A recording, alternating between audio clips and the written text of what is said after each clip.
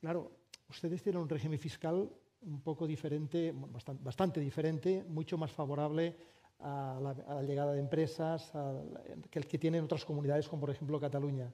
¿Esto no es hacer un poco aquello que llaman eh, dumping o un poco trampa, si me permite, entre comillas? Háganlo aquí.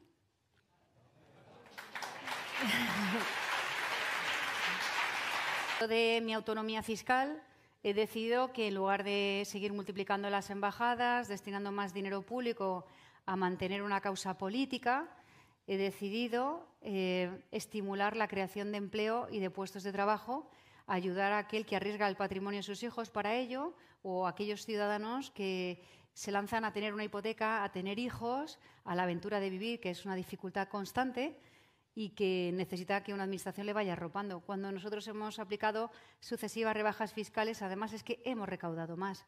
E insisto, nosotros no competimos con otras comunidades, estamos a su servicio. Nada me gusta más que lleguen nuevos proyectos a cualquier otro rincón de España.